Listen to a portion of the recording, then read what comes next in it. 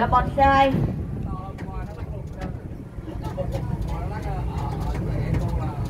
đây là voi ma mút.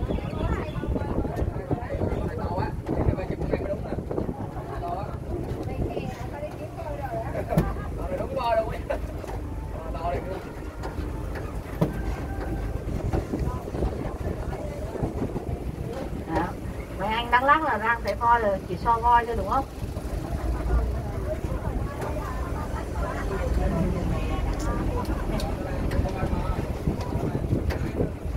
Thái Lan là xứ sở kiều voi mà. Campuchia, Thái Lan, Miến Thiền yeah. Dạ.